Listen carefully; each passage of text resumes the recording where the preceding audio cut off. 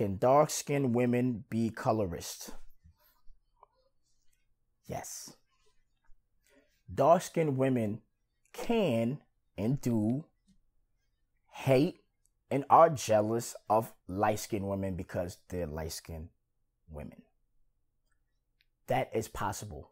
Now, you can call it whatever the fuck you want to call it. You can call it gibberish, Montana, French. You can call it Jamaica, patois, bullying. You can call it whatever the fuck you want to call it. The hate stems from the color of the light skinned woman. Her being light skinned plays a role in that friction that the dark skinned woman has against that light skinned woman.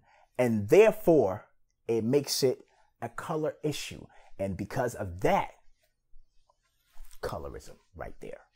Now, of course, the truth is, dark skinned women go through shit too.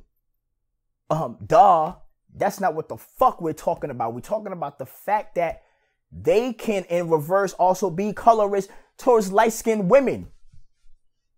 Yes, that is possible. And that does happen.